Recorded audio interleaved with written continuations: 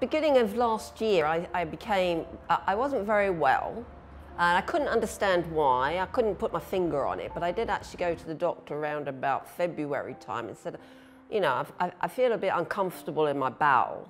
That was the first inkling I had anyway. If you don't do anything about things, then it's not going to go away. You've got to look up to it, you've got to admit to it, and then deal with it as best you can. Uh, and uh, I had a seven centimetre tumour, and I had to have an emergency stoma. Uh, and the stoma nurse came to see me, showed me what to do, and, and I found that a bit difficult. But once uh, that was over with, she said, well, you can go home now, you can do it yourself.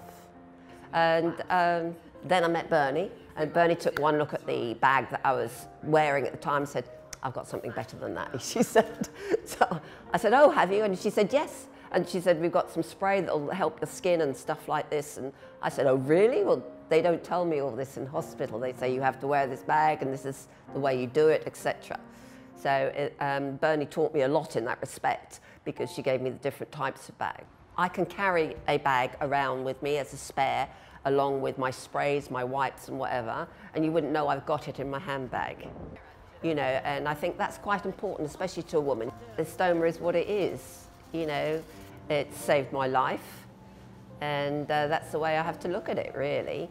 And it's part of my life now. It, uh, there's no getting away from that. You know, if you've got a product like Hollister, which is good, then you don't waver from it. That's the way I look at it anyway. Uh, and I've never looked back since using the Hollister products, to be honest. And that's all I can say about it. It suits me, and I think it, uh, it would suit a lot of women who take a pride in themselves.